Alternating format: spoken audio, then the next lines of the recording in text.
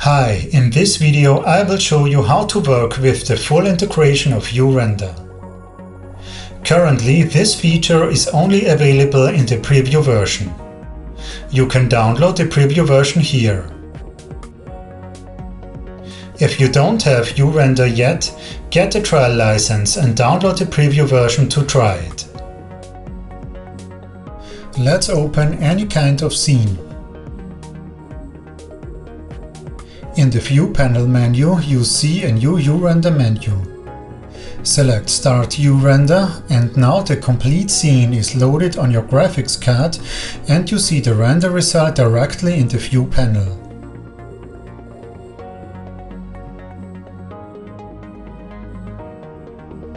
Also note the HUD information that U-Render is currently running. You can pause the real-time update if needed. Note that the scene is still saved on your graphics card, so if you make any changes and deactivate pause again, only the changes have to be updated. On the bottom you see the currently used resolution for the viewport. You can adjust it in the dashboard.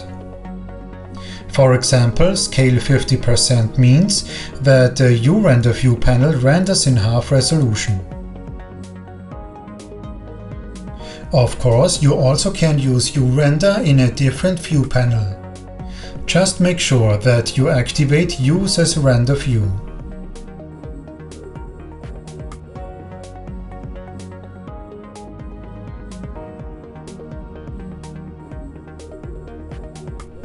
If you already have installed U-Render in a previous release and docked the U-Render toolbar, I recommend to close and dock it again, because we have some new tools. The full integration is really great for many use cases, but if you want to have your separate render view, this is also possible. You also can create a new view panel and set the Use as Render View option active.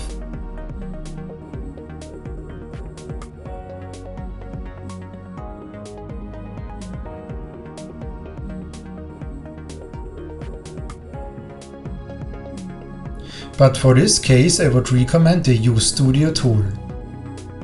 Now U-Render behaves like in previous versions. You get your separate render window and can move it anywhere you like. When the UStudio button is active, U-Render starts automatically if it's set correctly in the preferences. Also the sync tool is activated automatically, so every change you make in the viewport is synchronized in real time with the U-Render Studio render window. You can turn off the sync button if you don't want U-Render to update the scene. Like the pause U-Render option in the panel menu, the scene is still loaded on your graphics card, so if you make any changes and activate Sync again, U-Render will only need to update these changes.